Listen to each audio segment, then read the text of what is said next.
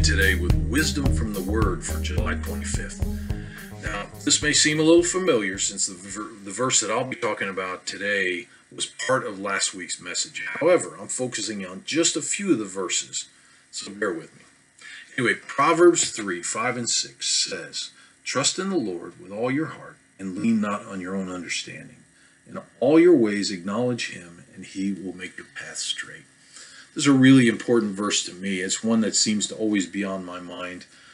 Um, so, what I want to do for the purposes of this conversation is break it down into four parts. The first being, trust in the Lord with all your heart. So, we know that we cannot trust our own heart since it's subject to be broken or could change.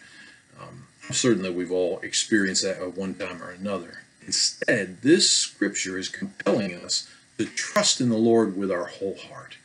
What this means is listening to what he says, reading his word, believing it, and acting upon it. And that's how we trust God completely. We take him at his word and we acknowledge that he knows way better than we do. So over in Psalm, Psalm 37, 5 and 6 says this Commit your way to the Lord, trust in him, and he will do this. He will make your righteousness shine like the dawn, the justice of your cause like the noonday sun. So, what I understand from this verse is if I commit, which means to pledge or bind to the Lord's plan for my life, then He's faithful to make our righteousness in Him, meaning we'll be a reflection of the glory that is His alone. That sounds pretty good to me.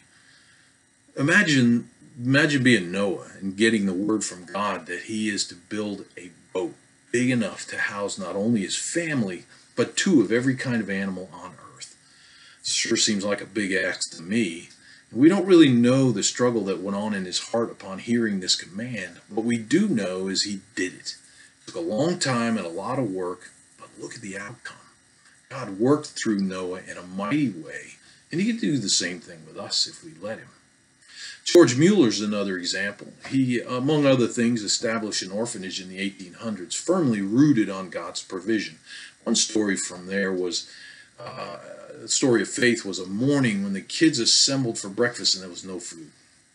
So he instructed the children that they could not be late for school, and then he prayed to the Lord about their circumstances. Shortly there was a knock on the door, and there was the local baker, who said he was woke from his sleep with the thought that the orphanage had no food. So he got up he baked them bread, brought it, brought it to them. After that, the milk delivery man knocked on the door and explained that his cart broke uh, right in front of the orphanage. Rather than allowing the milk to spoil, he gave it to the children. Interesting when I think about these two two men and how they were used by God. Now, number one, the baker, God spoke to him and said, "Hey, make some food for the orphanage." The milkman, he might not have been listening because he had to have a broken cart out of the deal. It's just an interesting thought for me. I'm sure that we've all heard similar stories of God's provision. All the more reason to trust Him and know that He's a good God and He's going to He's going to provide. So the second thing is lean not on your own understanding. I think it's a normal human trait to want to understand the why and the when day to day life. I know that I do. More than I should, I'm sure. But God's will for our life has reason and purpose.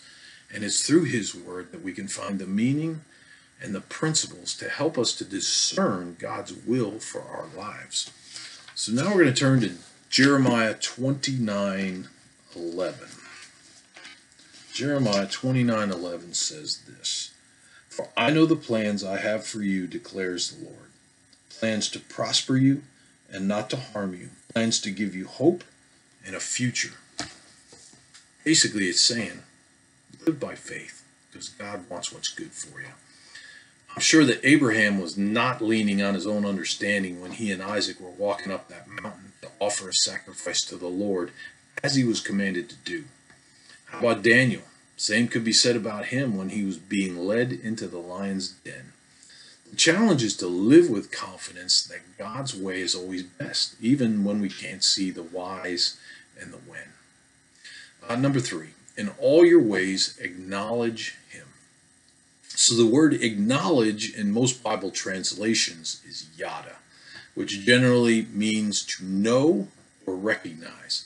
So for us, we're being instructed to know God's ways and to recognize that He is the ultimate authority in our lives. In this this section, the NIV translation is "In all your ways submit to Him." The NLT says, "Seek His will in all you do." So this comes down to not just wearing a cross, giving God a shout out when something goes right for a change.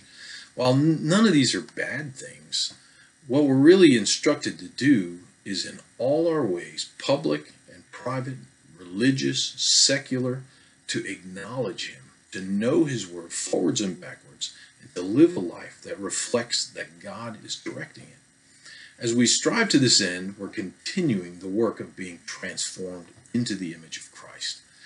So, number four, and He will make your path straight. One commentary puts it this way he will help empower us to keep our foot from evil. I'm sure everyone has heard the adage the quickest path between two points is a straight line. Well, God wants to get us where we need to go in life. Of course, that's going to look different for each one of us. However, if left to our own devices, our road might be filled with many twists and turns. We might even end up in a ditch somewhere. If that does happen, I'm glad that God is there to help pull us out and get us back on the right road. Certainly, the best course of action would be to stay in the middle of the road, on course with God. Or, as Black, Blackaby says in Experiencing God, look for what God is doing and join in. The creator of the world we live in, who sees the past, the future, and the present, has a plan for our lives. Our part is to be connected to Him through Jesus Christ, our Savior, and to allow Him to direct us. So let's sum it all up. Trust in the Lord with all your heart, listening to what He says, believe it, and act upon it. Lean not upon your own understandings, not to intellectualize our circumstances, but to seek God's face and trust that He's in control. In all your ways, acknowledge Him recognize that God is the ultimate authority in our lives. And He will make your path straight. He's going to empower us to keep our foot from evil. So thank you for watching. Let's pray. Dear Heavenly Father, I thank you so much for the opportunity to look at these verses, some of my favorites. Uh, Lord, I pray that you would speak to us that when we read your word, that it would be real, that it would be alive, and that would be encouraged to know that the God of the universe cares about us and, and wants the best for us. Help us to look for you in all things. Help, help us to, to see what you're doing. So I thank you, Lord, for this time, and I pray your blessing upon each one. In Jesus' name.